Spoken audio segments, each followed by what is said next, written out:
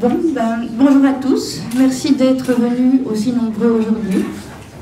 Alors, il y a euh, un an d'ici, jour pour jour, je défendais mon mémoire de fin de master en sciences de l'éducation à l'Université de Mons. Mémoire que j'ai réalisé dans le service de développement humain et de traitement des données dirigé par Madame Brunix. Madame Brunix m'a également accompagnée tout au long de cette recherche en tant que promotrice. Elle n'est pas là aujourd'hui, mais j'en profite pour la remercier. Alors le choix de ce, de ce mémoire était de travailler sur la formation des enseignants et du travail de mémoire envers la Shoah. Et nous nous sommes euh, penchés sur la participation des enseignants de la Fédération Wallonie-Bruxelles au voyage d'études en Pologne organisé par la SBL Mémoire d'Auschwitz. Alors ASBL Mémoire d'Auschwitz, que vous connaissez peut-être plus sur le nom de Fondation Auschwitz. Euh, toute l'équipe m'a également soutenue pendant ma recherche et euh, ben, j'en profite pour les remercier également. Alors aujourd'hui, je vais vous présenter cette recherche. En ce qui concerne l'état de la question, nous avons choisi de revenir sur les points théoriques suivants. Le premier est le rôle de l'école dans l'enseignement de la Shoah et de l'éducation à la mémoire. En effet, une étude réalisée par la Fondation pour la mémoire de la Shoah met en évidence que l'école est le principal vecteur de transmission de la mémoire. La transmission familiale, quant à elle, est de 19%. Je rajouterai qu'une étude réalisée par la Fondation Jean Jaurès montre, en 2018 montre que la transmission familiale est de 8% pour la classe d'âge des 18-24 ans. Pour Roder, plus on s'éloigne de la Seconde Guerre mondiale, plus l'école devient le lieu d'apprentissage de la Shoah. Depuis la déclaration de Stockholm, un groupe de travail créé par Goran Persson, Premier ministre suédois, s'engage à promouvoir l'éducation à la mémoire, l'enseignement de la Shoah, la commémoration et la recherche scientifique. Cet organe intergouvernemental porte le nom de IRA, International Holocaust Remember Alliance, en français Alliance internationale pour la mémoire de l'Holocauste. En Fédération Wallonie-Bruxelles, le décret du 13 mars 2009 relatif à la transmission de la mémoire a pour objectif de favoriser l'attention des jeunes à transmettre la mémoire. Depuis, chaque année, un appel à projet est lancé par le gouvernement dans le but d'organiser des activités en lien avec le décret. Alors, enseigner la Shoah dans le but de faire un travail de mémoire avec les élèves présente de nombreux défis pour les enseignants. Un défi scientifique par le travail d'histoire et donc de connaissance des événements qui se sont déroulés pendant la Shoah, un défi didactique par le choix des supports qu'il va utiliser pour illustrer les cours théoriques euh, de façon durable, un défi pédagogique par les choix des méthodes qu'il va mettre en place pour cet enseignement, et un défi éducatif par le choix de l'objectif de l'enseignement. En Fédération Wallonie-Bruxelles, depuis le décret mémoire, de nombreux outils ont été mis à disposition des enseignants. La cellule de démocratie de Barbarine a distribué dans les écoles des outils pédagogiques, organisé des journées d'études et euh, diffuse des publications. Les centres de ressources euh, mettent également à disposition des enseignants des outils pédagogiques, organisent des activités, des formations et euh, diffusent des publications pédagogiques et scientifiques. Les sites mémoriels mettent également en ligne des ressources pour aider les enseignants à préparer la visite avec les élèves. Comme je l'ai dit d'entrée, nous avons choisi de traiter la formation des enseignants à éduquer les jeunes à la mémoire et notre choix s'est porté sur la participation aux voyages d'études organisés annuellement par la SBL Mémoire d'Auschwitz. La SBL Mémoire d'Auschwitz organise annuellement deux voyages d'études. Un voyage d'études à Auschwitz et un voyage intitulé Sur les traces de la Shoah en Pologne, sur les sites moins connus de Kelmo, Belzec, Sobibor, Treblinka. La participation des enseignants euh, au voyage d'études nous a amené à nous poser les questions de recherche suivantes. La première était quel est le profil pédagogique des participants au voyage d'études? Et quels sont les apports des voyages d'études sur le lieu de mémoire de la Shoah. La récolte des données s'est réalisée en deux temps. un questionnaire d'enquête spécialement conçu pour l'enquête a été envoyé à l'ensemble des professionnels de l'enseignement repris dans la base des données euh, de l'ASBL Mémoire d'Auschwitz ayant participé au voyage d'études. Il a également été mis en ligne sur la page Facebook de la Fondation. Ensuite, des entretiens semi-directifs ont été euh, réalisés en individuel sur base volontaire avec des enseignants ayant répondu au questionnaire d'enquête et avec les professionnels encadrant les voyages d'études. En ce qui concerne notre échantillon, le questionnaire, euh, le questionnaire, en ligne était constitué de 51 répondants, 29 femmes et 22 hommes. Pour ce qui est des entretiens semi-directifs, il est composé de 8 volontaires, 4 enseignants ayant euh, répondu au questionnaire d'enquête et 4 professionnels euh, encadrant les voyages d'études euh, faisant partie de la SBL Mémoire d'Auschwitz. Alors pour répondre à notre première question de recherche et établir le profil pédagogique des participants à ces voyages d'études, l'analyse des données a été divisée en six sous-questions. En ce qui concerne le contexte de l'enseignement, on peut voir que la majorité des enseignants sont issus du réseau libre confessionnel. Ils sont nommés à titre définitif et enseignent dans l'enseignement général. La catégorie de diplômes la plus représentée sont le master en histoire et le bachelier en sciences humaines et en français. Pour ce en ce qui concerne les enseignants ayant euh, participé aux entretiens semi-directifs, il existe une différence entre les réseaux et les filières et parfois même à l'intérieur d'un même réseau. Pour les professionnels ayant participé aux entretiens, l'enseignement de la Shoah dépend de la motivation personnelle de l'enseignant. Plus de la moitié des répondants n'ont pas eu de cours sur la Shoah pendant leurs études ou l'ont abordé, mais pas suffisamment pour l'enseigner. Les, données issues des entretiens semi-directifs confirment que la formation des enseignants n'est pas suffisante pour éduquer les jeunes à la mémoire parce qu'ils n'ont pas eu de cours pendant leur cursus sur la Shoah. Et donc ils s'enrichissent euh, de manière autodidacte par la visite de lieux de mémoire, la visite de musées et la lecture de témoignages. Et ils prennent également contact avec des professionnels. Les principaux objectifs euh, de l'enseignement de la Shoah sont pour plus de la moitié de former des citoyens responsables. Ces données sont confirmées par les entretiens semi-directifs qui confirment qu'enseigner la Shoah contribue à former les élèves à être des citoyens responsables. L'objectif est de faire réfléchir les élèves sur les passés, de leur présenter des faits, afin qu'ils se, se, rendent compte de l'importance et de la fragilité de notre, de notre démocratie et de l'importance du droit de vote. En ce qui concerne les pratiques de classe, le temps consacré à l'étude de la Shoah est de 1 à 5 périodes, une période correspondant à 50 minutes, ce qui est finalement très peu. Les supports pédagogiques les plus utilisés sont la visite des lieux de mémoire, la venue d'un témoin en classe et la visite de musée. Donc je reviendrai plus tard sur la visite des témoins en classe.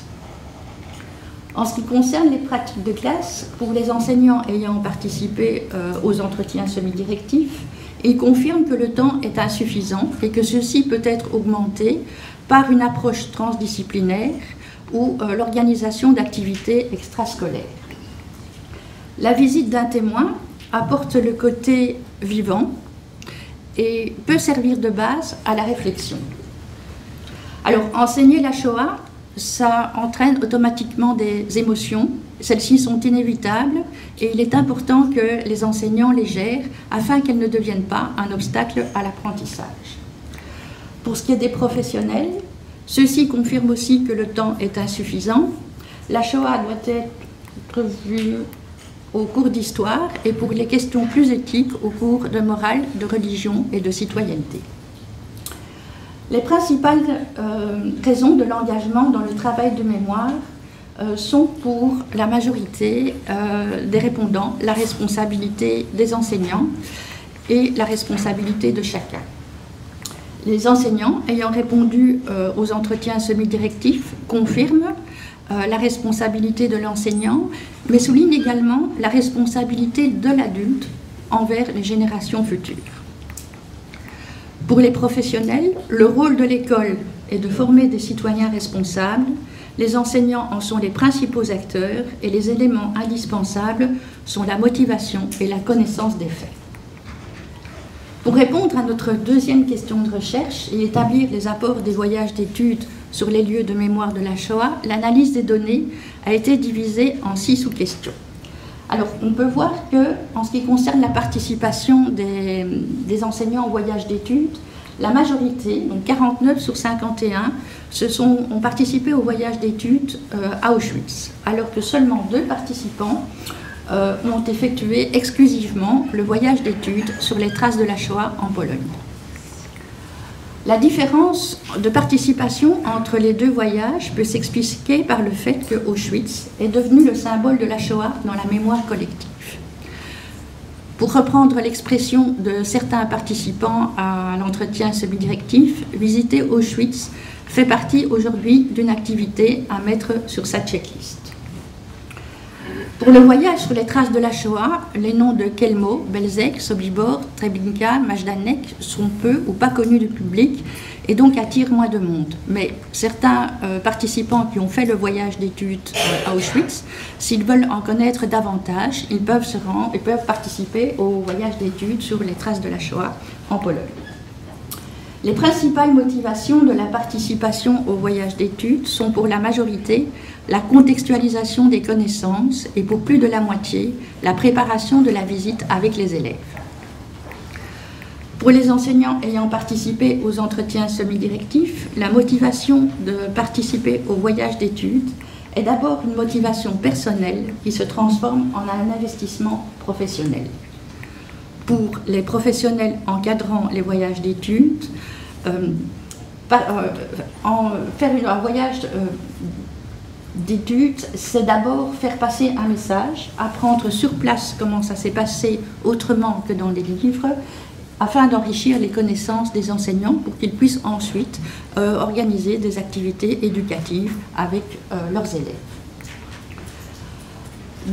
la majorité des, répondants soulignent les grandes qualités pédagogiques des encadrants au voyage d'études. Ceux-ci abordent l'histoire à partir euh, des événements qui se sont déroulés. Ils présentent aussi bien des faits historiques qu'actuels. La présence des témoins apporte le côté humain. Alors cette année, c'était la première année où, euh, pour le voyage à Auschwitz, euh, il n'y avait pas de, malheureusement pas de témoins. Et donc, à défaut de témoins, ils lisent des extraits de témoignages ou passent des vidéos de témoignages enregistrés pendant euh, les, soirées.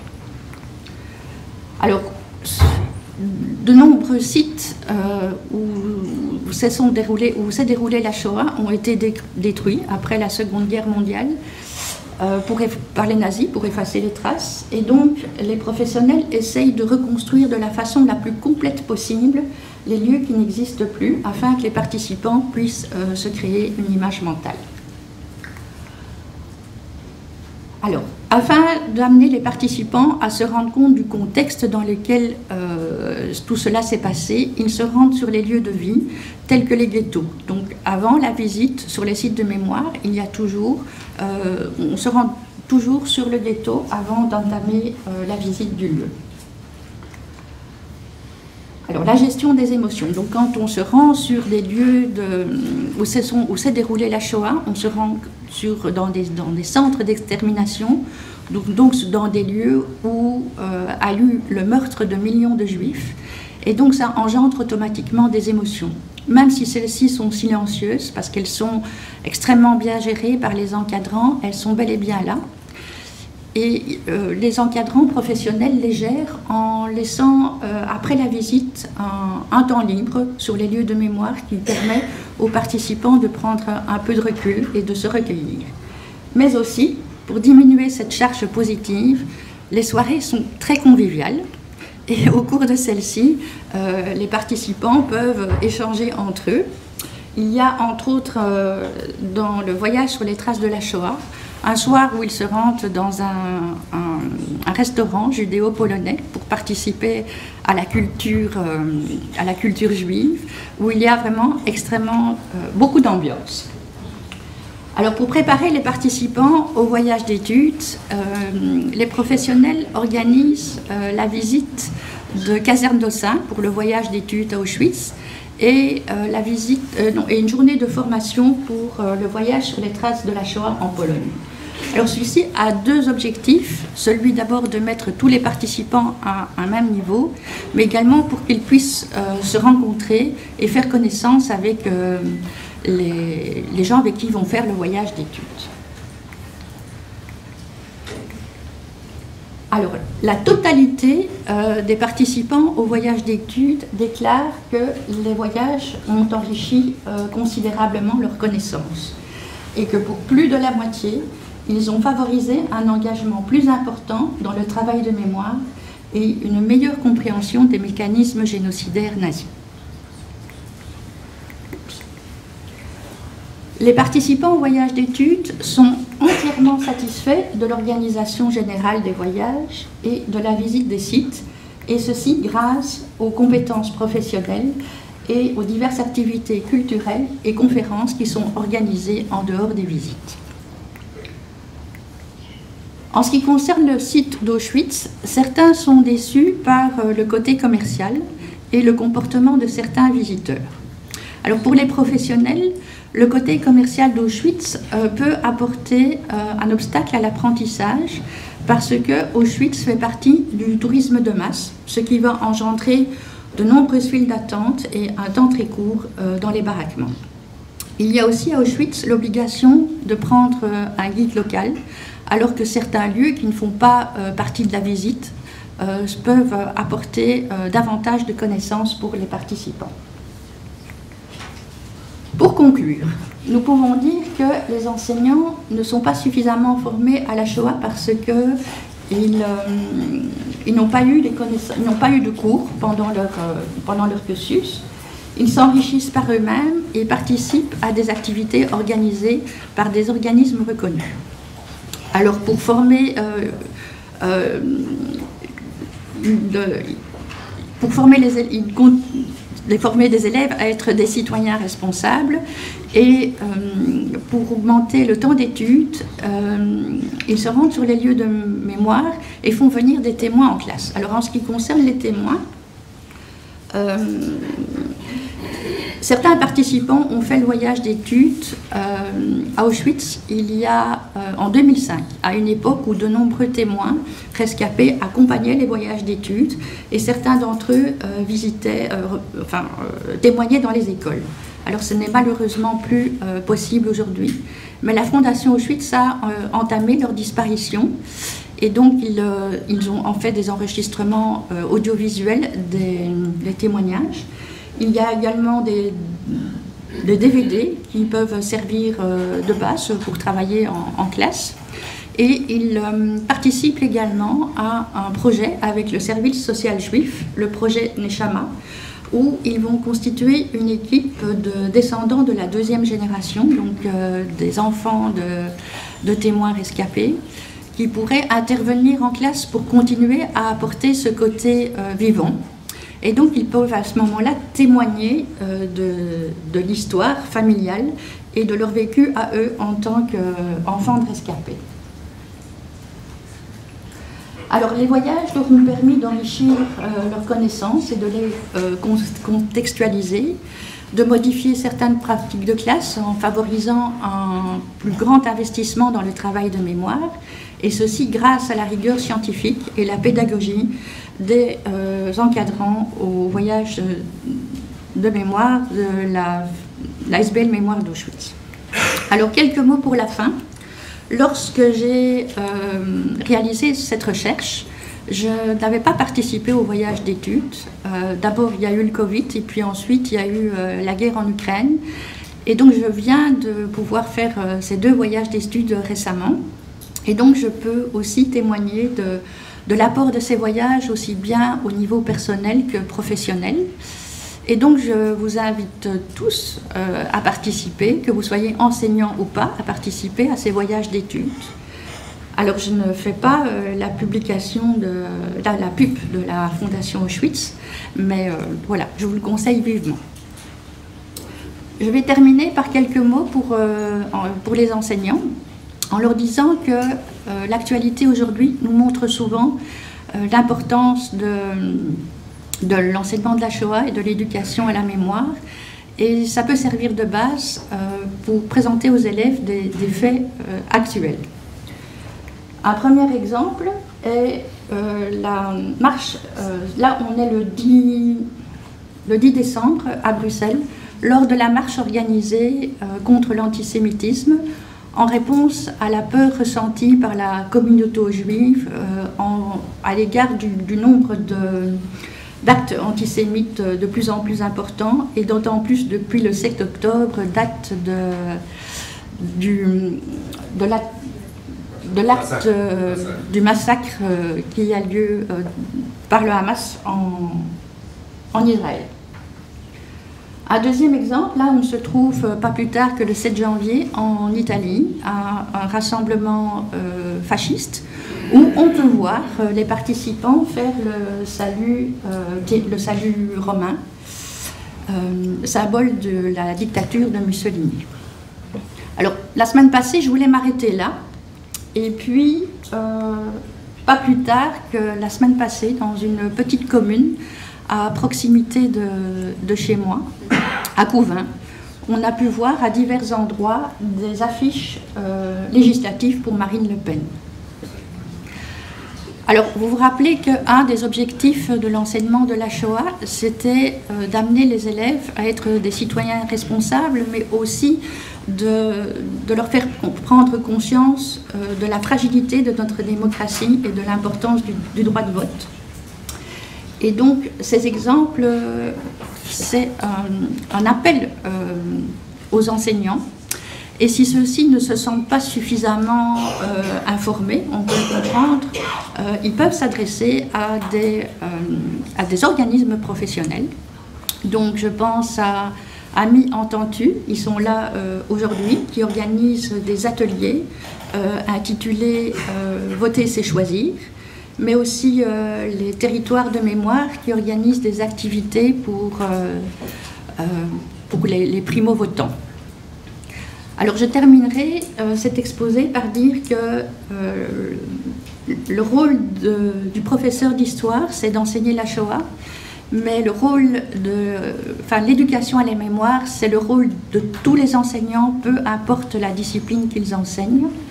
Et par exemple, un prof d'histoire peut, euh, non, un prof de maths peut très bien commencer son cours euh, par présenter un fait d'actualité et euh, pour débattre avec les élèves de ce, fait d'actualité pour répondre à leurs questions. Et surtout, l'important, c'est de leur donner des outils pour les amener à comment plus jamais ça. Voilà, je vous remercie pour votre écoute.